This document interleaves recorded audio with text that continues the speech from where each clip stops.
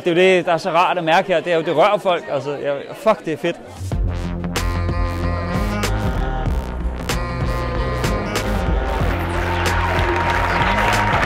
Jeg synes, Skam kan det, at den har taget nogle ekstremt tabubelagte emner op. Jeg synes, den er så vigtig, den historie. Om det der med at tro på sig selv. Altså, det kunne næsten ikke blive mere vigtigt.